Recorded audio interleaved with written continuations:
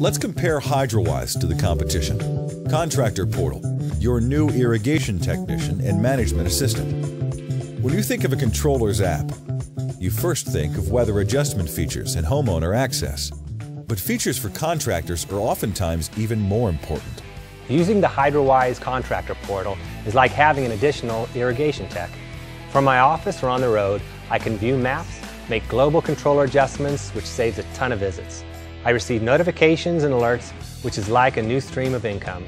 I can send detailed job sheets to crew members and give them site information, and I can provide customers advanced warning of system issues before they become problems. The Hydrawise system handles all of this in an easy but secure manner. With my app, I can swipe left and right for access to the controllers.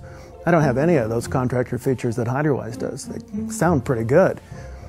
I ran into an awkward situation recently where I had to let one of my crew guys go, and I found out the only way I could remove him from a customer's account was I had to contact the customer and ask them to change their password for the controller app.